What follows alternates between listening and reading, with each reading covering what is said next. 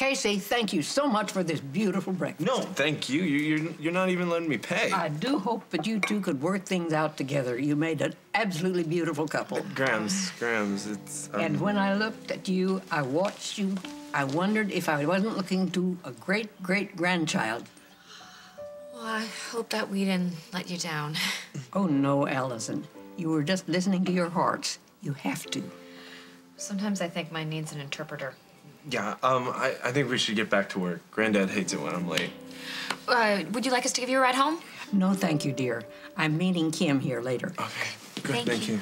Thank you. Hi, Nancy. Hey, uh, can I get one for the road? I know what you're thinking. Nancy might have a great-great-grandchild sooner than she thinks. Morning, Nancy. From the sound of your voice, I don't think you mean that. Oh, no, I, I do. I'm sorry. I didn't mean to sound so surly. You're right.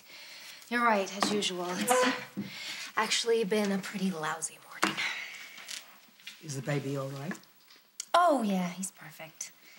Jacob, I can deal with. He's about the only man I can deal with lately. Being in this place must remind you of Brad.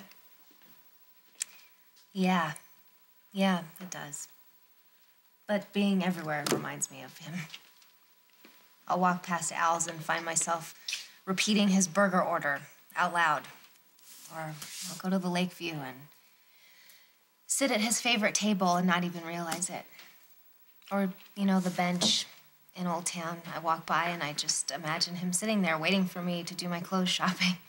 Chris was allergic to shopping, too. It's not just that, it's just everybody knew Brad. Or if they didn't, they felt like they did because of the show.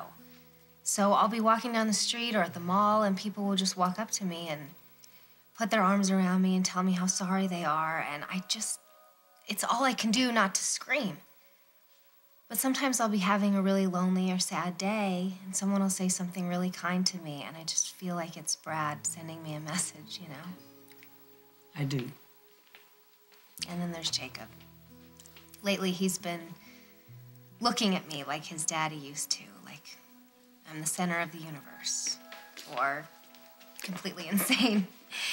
And he does this little thing with his feet where he wiggles them back and forth, and it used to drive me crazy when Brad did it, but when Jacob does it, I just don't want him to stop because Brad was the love of my life, and I don't want to forget him.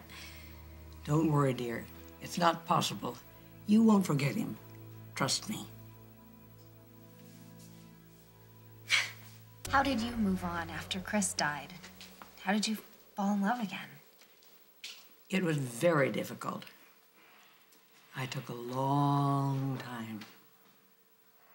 Yeah, I don't know if I could let myself go there again. Don't push yourself, dear. Know that you have to be ready to fall in love again, and I don't think you are. Neither do I.